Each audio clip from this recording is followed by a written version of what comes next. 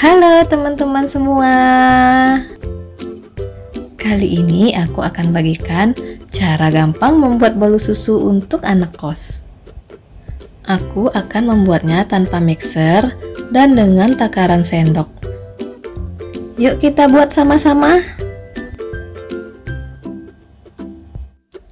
Bahan-bahan yang kita perlukan adalah margarin yang sudah saya cairkan, kemudian susu cair, kemudian gula pasir, baking powder, dan tepung terigu. Pertama, kita panaskan dulu rice cookernya.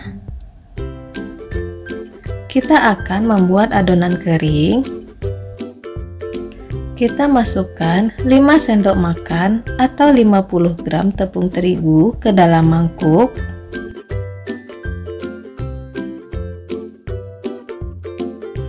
kemudian kita masukkan 2 sendok makan gula pasir kemudian kita masukkan 3 per 4 sendok baking powder kemudian kita aduk-aduk hingga semua bahan tercampur Nah, kemudian kita bikin bahan cairnya.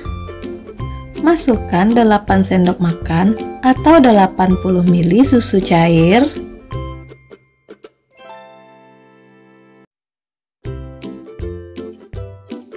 Kemudian kita masukkan 2 sendok makan margarin cair.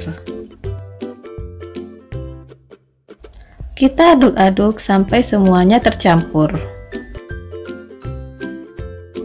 Nah, sekarang kita sudah punya bahan cair dan bahan kering. Selanjutnya, kita masukkan bahan kering ke dalam bahan cair.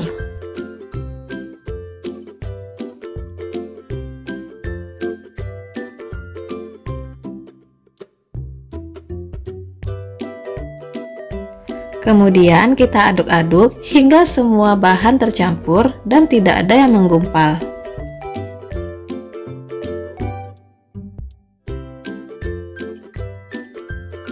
Nah, kira-kira seperti ini ya teman-teman. Setelah semua bahan tercampur, kita tuang ke dalam cetakan atau cangkir yang tahan panas.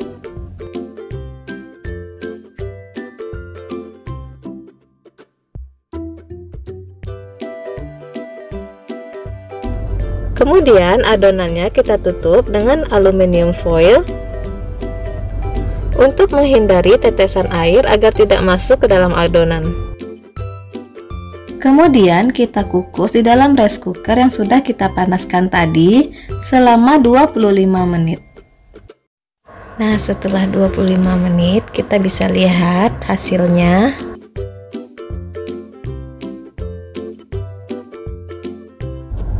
Setelah matang, diangkat dan dinginkan sebentar.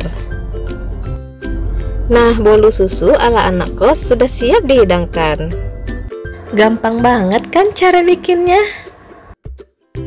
Teman-teman bisa menambahkan topping apa aja, boleh coklat, keju.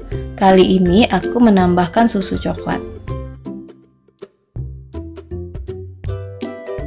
Semoga video ini bermanfaat. Jangan lupa klik tombol subscribe dan aktifkan notifikasinya ya teman-teman. Terima kasih sudah menonton.